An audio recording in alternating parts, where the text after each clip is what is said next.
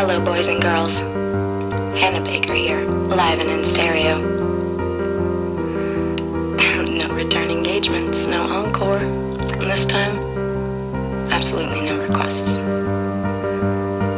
I hope you're ready because I'm about to tell you the story of my life. More specifically, why it ended. Through all the years we've spent going to the same school or working together at the movie there's only one night when we. Do you remember the last thing you said to me?